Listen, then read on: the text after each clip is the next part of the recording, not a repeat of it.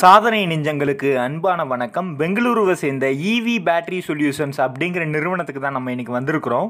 இந்த நிறுவனம் battery charger BMS இந்த மாதிரியான பொருட்களை தயாரிக்கிறாங்க. ரெண்டாயிரத்தி பதினாறில் தொடங்கினாங்க. ரெண்டாயிரத்தி பதினேழு பதினெட்டில் எம்எஸ்எம்இ சர்டிஃபிகேஷன் வாங்கியிருக்கிறாங்க. பெங்களூரில் இந்திரா நகர் அப்படிங்கிற ஏரியாவில் உங்களுடைய ஒர்க் ஷாப் இருக்குது.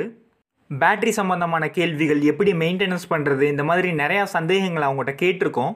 அவங்களுக்கு கன்னடம் மற்றும் இங்கிலீஷ் மட்டும்தான் தெரியும் அப்படிங்கிறதுனால அவங்ககிட்ட இருந்து இன்ஃபர்மேஷனை கேதர் பண்ணியிருக்கேன். அதை உங்களுக்கு தமிழில் நான் வாய்ஸ் ஓவராக இப்போ சொல்கிறேன் இவங்க lithium ion lithium ferrophosphate lithium polymer எல்டிஓன்னு சொல்லக்கூடிய லித்தியம் டைட்டேனியம் ஆக்சைடு இந்த மாதிரியான பேட்டரிகளை தயாரிக்கிறாங்க. இவங்க எந்தெந்த அப்ளிகேஷனுக்கெலாம் பேட்டரியை சப்ளை பண்ணுறாங்க அப்படின்னு பார்த்தோம்னா எலக்ட்ரிக் வெஹிக்கிள்களுக்கு அப்புறம் ட்ரோன்களுக்கு automated guided vehicle robotics medical equipments இந்த மாதிரியான அப்ளிகேஷன்ஸ்க்கெலாம் இவங்க பேட்டரி தயார் பண்ணி கொடுக்குறாங்க. பேட்டரி போக சார்ஜரும் இவங்க தயாரிக்கிறாங்க. பிஎம்எஸ்ன்னு சொல்லக்கூடிய பேட்டரி மேனேஜ்மெண்ட் சிஸ்டமும் தயாரிக்கிறாங்க.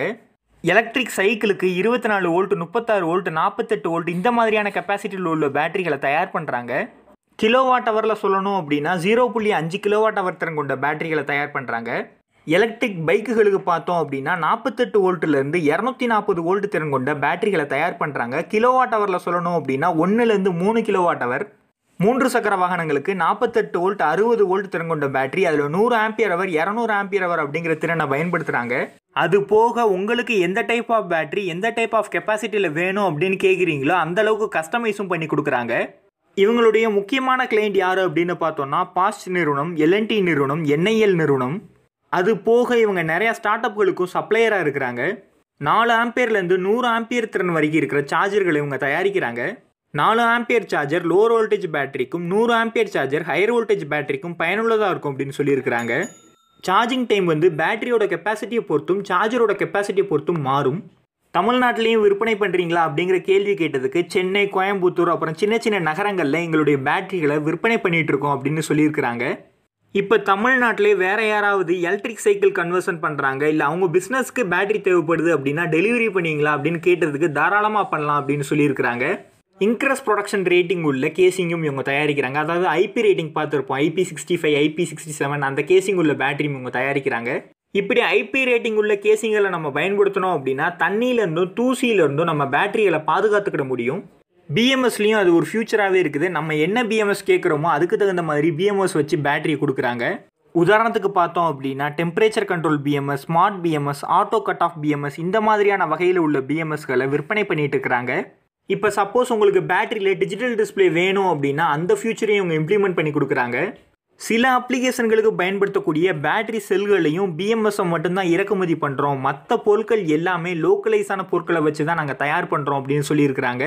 இந்த மாதிரி பேட்டரி அசம்பிளி யூனிட்லேருந்து ஏதாவது ஜாப் ஆப்பர்ச்சுனிட்டி இருக்குமா அப்படின்னு கேட்டதுக்கு பேட்டரி அசம்பிளி அப்புறம் பேட்டரி டிசைன் பேட்டரியிலே பேட்டன் ரைட்ஸ் வாங்குறது இந்த மாதிரியான நிறையா ஃபியூச்சர்ஸ் உள்ள ஜாப்ஸ் இருக்குதான். பேட்டரியை மெயின்டைன் பண்ணுறதுக்கு சில டிப்ஸ்களை கொடுங்க அப்படின்னு கேட்டிருந்தோம். டேமேஜ் பண்ணாமல் வச்சுருக்கணும். அப்புறம் சார்ஜிங் டிஸ்சார்ஜிங் பண்ணும்போது ஒரு குறிப்பிட்ட இடைவெளி விட்டுட்டு தான் நீங்கள் வண்டி எடுக்கணும் அப்படின்னு சொல்லியிருந்தாங்க. அதே மாதிரி ரெகுலராக பேட்டரியை சார்ஜ் பண்ணணும் அப்படின்னு சொல்லியிருந்தாங்க. இப்போ வண்டி ஓட்டும்போது சடன் த்ராட்டில் கொடுக்காம கிராஜுவலான த்ராட்டில் கொடுங்க. அப்படி இருந்தால் கொஞ்சம் பேட்டரியோட லைஃப் வந்து நல்லாயிருக்கும் அப்படின்னு சொல்லியிருந்தாங்க. இப்போ நம்ம பொதுவாக வண்டி ஓட்டிகிட்டு இருக்கும்போது அந்த பேட்டரியிலேருந்து கரண்ட் வந்து டிஸ்சார்ஜிங் ஆகிட்டே இருக்குமே. இப்போ ரீஜென்ரேட்டிவ் அப்படிங்கிற ஃபியூச்சர் மூலியமாக அந்த பிரேக் பிடிக்கும்போது அந்த எலக்ட்ரிசிட்டி வந்து பேட்டரியில் சார்ஜ் ஆகுது. இதனால் பேட்டரி லைஃப் பாதிக்குமா அப்படின்னு கேட்டிருந்தோம். பெரும்பாலும் அது பாதிக்காது. பேட்டரியோட லைஃப்பை கொஞ்சம் கண்டிஷனாக தான் வச்சுருக்கோம் அப்படின்னு சொல்லியிருந்தாங்க.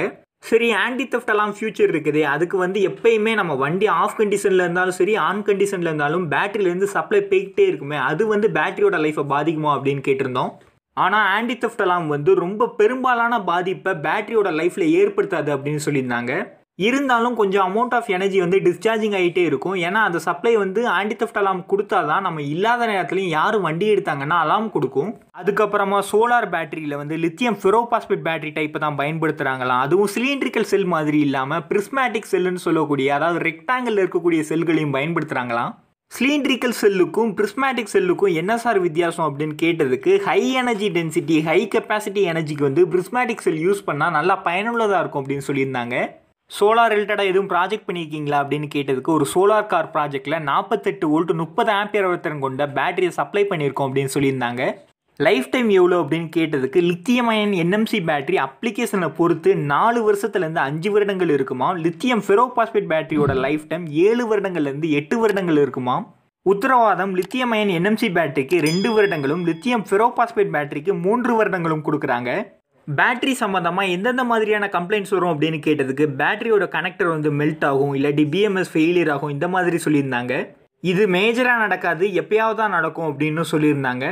பேட்டரியை விற்பனை பண்ணுறதுக்கு முன்னாடி என்னென்ன மாதிரியான பரிசோதனைகளை பண்ணுவீங்க அப்படின்னு கேட்டதுக்கு வோல்டேஜ் டெஸ்ட் பண்ணுவோம் ஐஆர் டெஸ்ட் பண்ணுவோம் கெப்பாசிட்டி டெஸ்ட் பண்ணுவோம் அப்படின்னு சொல்லியிருந்தாங்க. இப்போ நீங்கள் பேட்டரி தயாரிக்கிறதுக்கு எதுவும் அப்ரூவல் வாங்கிக்கிங்களா அப்படின்னு கேட்டதுக்கு என்ன சொன்னாங்கன்னா அப்ளிகேஷனை பொறுத்து மாறும். இப்போ உதாரணத்துக்கு மின்சார வாகனம் அப்படின்னு எடுத்துட்டோம்னா ஐகேட் அப்ரூவல் ஏஆர்ஏ அப்ரூவல் இருக்குல்ல அது வந்து எங்கள் பேட்டரி கொடுப்பாங்க அப்படின்னு சொல்லியிருந்தாங்க. இதே மாதிரி ட்ரோன் சோலார் அப்ளிகேஷன் இந்த மாதிரினா அதுக்கு தனித்தனி ஸ்டாண்டர்ட்ஸ் இருக்குதான் இந்த பேட்டரிகளோட விலைகள் என்ன அப்படின்னு பார்ப்போம். லித்தியம் அயன் பேட்டரி அப்படின்னா நாற்பத்தெட்டு வோல்ட் முப்பது ஆம்பியர் அவர்த்தரம் கொண்ட பேட்டரியோட விலை இருபதாயிரம் ப்ளஸ் வரி. அறுபது வோல்ட் முப்பது ஆம்பியர் அவர்த்தரம் கொண்ட லித்தியம் அயன் பேட்டரியோட விலை இருபத்தி ரெண்டாயிரம் ப்ளஸ் வரி. எழுபத்தி ரெண்டு வோல்ட் முப்பது ஆம்பியர் அவர்த்தரம் கொண்ட லித்தியம் அயன் பேட்டரியோட விலை இருபத்தி ஏழாயிரம் ப்ளஸ் வரி. இதே கெப்பாசிட்டியில் உள்ள லித்தியம் ஃபெரோபாஸ்பேட் பேட்டரிகளோட விலை என்ன அப்படின்னு பார்த்தோம்னா லித்தியம் அயன் பேட்டரிகள்லேருந்து ஆயிரம் ரூபாயிலேருந்து ரெண்டாயிரம் ரூபாய் வரைக்கும் டிஃப்ரென்ஸ் இருக்குமாம் நம்ம போன அந்த நேரத்தில் நாற்பத்தெட்டு வோல்ட் நாற்பது ஆம்பியர் ஒருத்தரம் கொண்ட லித்தியம் அயன் பேட்டரியை பேக்கேஜ் பண்ணி வச்சுருந்தாங்க. அதுக்கப்புறம் ஐம்பத்தி ரெண்டு வோல்ட் நாற்பத்தஞ்சு ஆம்பியர் ஒருத்தரம் கொண்ட லித்தியம் அயன் பேட்டரி அதுக்கப்புறமா எழுபத்தி ரெண்டு வோல்ட் பத்து ஆம்பியர் ஒருத்தரம் கொண்ட லித்தியம் அயன் பேட்டரி பேக்கேஜ் பண்ணி வச்சுருந்தாங்க. இந்த பேட்டரியோட எடையை வெயிட் லிஃப்டர் மூலியமாக எவ்வளோ எடை இருக்குது அப்படின்னு காட்டினாங்க. அப்புறம் மல்டிமீட்டர் மூலியமாக எவ்வளோ வோல்டேஜ் இருக்குது அப்படிங்கிறதையும் மெஷர் பண்ணி காட்டினாங்க. எண்பத்தி நாலு வோல்ட் பத்து ஆம்பியர் திறன் கொண்ட சார்ஜருடைய விலை ஐயாயிரத்துலேருந்து ஆறாயிரம் ரூபாய் இருக்குமாம் இருபத்தொம்போது புள்ளி நாலு வோல்ட் பத்து ஆம்பியர் திறன் கொண்ட சார்ஜருடைய விலை நாலாயிரத்தி இரநூறு ரூபாயாகவும் ஐம்பத்தி நாலு புள்ளி ஆறு வோல்ட் மூணு ஆம்பியர் திறன் கொண்ட சார்ஜருடைய விலை ரெண்டாயிரத்தி எண்ணூறு ரூபாயாகவும் இருக்குமாம்? எழுபத்தி ரெண்டு வோல்ட் நூறு ஆம்பியர் திறன் கொண்ட சார்ஜருடைய விலை ஏழாயிரம் ரூபாய் இருக்குமாம். மேலே சொன்ன விலை விவரங்களுடைய டாக்ஸும் வருமாம். பொதுவாக பேட்டரி எப்படி அசம்பிள் பண்ணுவாங்க அப்படிங்கிற அசம்பிளி ப்ரொசீஜரையும் நமக்கு டெமான்ஸ்ட்ரேட் பண்ணி காட்டியிருக்காங்க. வாங்க பார்க்கலாம். பொதுவாக செல் ஹோல்டர்ஸை வச்சுக்கிடுவாங்க. அதாவது பிளாஸ்டிக் பார்ட் மாதிரி இருக்கும். அதில் தான் நம்ம பேட்டரி செல்களை வந்து அடுக்குவோம். பேஸாக ஒரு செல் ஹோல்டரை வச்சிடுறாங்க. அதில் வந்து பேட்டரி செல்களை வந்து அடுக்குறாங்க. இப்போ நம்ம பேக்கேஜ் பண்ண போகிறது பதினாலு புள்ளி எட்டு வோல்ட் பன்னெண்டு ஆம்பியர் ஒருத்தரம் கொண்ட பேட்டரி ஒவ்வொரு இண்டிவிஜுவல் பேட்டரியும் ரெண்டு புள்ளி நாலு ஆம்பியர் ஒருத்தரம் கொண்டது. இந்த battery பேக்கேஜை four S five P pack அப்படின்னு சொல்லியிருந்தாங்க. அதாவது நாலு ரோ அஞ்சு காலம் இருக்குமாம் ஹோல்டரில் முதல் வரிசையில் இருக்கக்கூடிய பேட்டரிகளை பாசிட்டிவ் லைனாக எடுக்கிறாங்க. அதுக்கப்புறம் நெகட்டிவ் லைனாக எடுக்கிறாங்க. அதுக்கப்புறம் மறுபடியும் பாசிட்டிவ் லைனாக எடுக்கிறாங்க. அப்புறம் நெகட்டிவ் லைனாக எடுக்கிறாங்க. இந்த மாதிரி தான் செல்களை அல்டர்னேட்டிவாக வச்சு சீரீஸ் கனெக்ஷனில் இந்த பேட்டரியை பேக்கேஜ் பண்ணுவாங்களாம். அதுக்கப்புறமா இதுக்கு மேலே இன்னொரு செல் ஹோல்டரை வச்சு அசம்பிள் பண்ணுவாங்களாம். எல்லா செல்களையும் அசம்பிள் பண்ணதுக்கப்புறமா அந்த செல்களோட சர்ஃபேஸில் லிக்விட் கெமிக்கலை வச்சு க்ளீன் பண்ணுவாங்களாம். அதுக்கப்புறமா கேஸ்கட் மாதிரியான அமைப்பு கொடுப்பாங்களாம். அது பேட்டரி செல்களை தண்ணி மற்றும் தூசிகள்லேருந்து பாதுகாத்து கொள்ளுமாம். இப்படி பேட்டரி செல்கள் எல்லாத்தையும் செல் ஹோல்டரில் அசம்பிள் பண்ணதுக்கப்புறமா நிக்கல் பிளேட்டட் ஸ்டீல் ஸ்ட்ரிப் மூலியமாக கனெக்ஷன் கொடுப்பாங்க. இந்த பேட்டரி பேக்கேஜில் பார்த்தோம் அப்படின்னா முதல் ரோவில் வந்து பாசிட்டிவ் வச்சுருக்கோம் ரெண்டாவது ரோவில் நெகட்டிவ் வச்சுருக்கோம் மூணாவது ரோவில் மறுபடியும் பாசிட்டிவ் நாலாவது ரோவில் மறுபடியும் நெகட்டிவ் வச்சுருக்கிறோம். அதுக்கு தகுந்த மாதிரி ரெண்டு விதமான double strip nickel plated steel ஸ்ட்ரிப்பை வச்சு ஸ்பாட் வெல்டிங் பண்ணுவாங்க. இப்படி இந்த ஸ்ட்ரிப் மூலியமாக வெல்டு பண்ணதுக்கப்புறமா வயரை கனெக்ட் பண்ணுவாங்க. பொதுவாக ரெண்டு விதமாக பேக்கேஜ் பண்ணுவாங்களாம் நார்மலாக அந்த கவர் மாதிரியான ப்ளூ கலர் கவர்லன்னா பார்த்துருப்பீங்க? அந்த மாதிரியான அமைப்பில் பேக்கேஜ் பண்ணுவாங்களாம் இன்னொரு மெத்தட் வந்து ஸ்ட்ராங்கான மெத்தடாக இருக்குமா? அது வந்து பேட்டரியை நல்லா வலிமையாக வச்சுக்கிடுமாம் இந்த மெத்தடில் ரப்பர் பேடுகளை பயன்படுத்துகிறாங்க இது அதிகமான டெம்பரேச்சர் அதாவது அறுபதுலேருந்து எண்பது டிகிரி செல்சியஸ் வரைக்கும் இருக்கக்கூடிய வெப்பநிலையும் தாங்கக்கூடியது. நல்லா ஸ்டிஃபாகவும் இருக்கக்கூடியதாம். இந்த பேட்டரிகளை பேக்கேஜ் பண்ணுறதுக்கு முன்னாடி இண்டிவிஜுவல் செல்லில் முதல்ல எடுத்து எவ்வளோ எவ்வளோ வோல்டேஜில் இருக்குது அப்படிங்கிறத மெஷர் பண்ணணுமாம். டூ இட் யுவர் செல்ஃப் அப்படின்னு சொல்லக்கூடிய டிஐஒய் ப்ராஜெக்ட்ஸ்க்கு இந்த மாதிரி பேட்டரிகளை பயன்படுத்தலாமாம். இப்போ ஈவி ரிலேட்டடாக ப்ராஜெக்ட் பண்ணுறீங்க அப்படின்னா குறைஞ்சது இருபத்தி நாலு வோல்ட் பத்து ஆம்பியர் அவர்த்தரம் கொண்ட லித்தியம் அயன் பேட்டரி இல்லை லித்தியம் ஃபெரோபாஸ்பேட் பேட்டரி பயன்படுத்தினா நல்லாயிருக்கும் அப்படின்னு சஜஷன் கொடுத்துருந்தாங்க.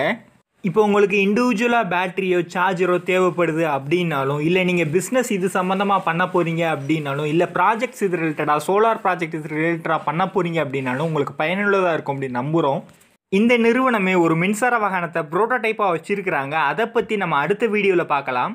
அது எவ்வளோ ரேஞ்ச் கொடுக்குது எவ்வளோ டாப் ஸ்பீட் வரைக்கும் போகுது அதுக்கு எவ்வளோ செலவாச்சு அப்படிங்கிற டீட்டெயிலும் கேட்டிருந்தோம். அது போக நீங்களும் அதை கன்வெர்ட் பண்ணி விற்பனை பண்ணுவீங்களா அப்படின்னு கேட்டதுக்கு பண்ணுவோம் அப்படின்னு சொல்லியிருக்கிறாங்க. புதுப்பிக்கும் சக்தி உலகை கா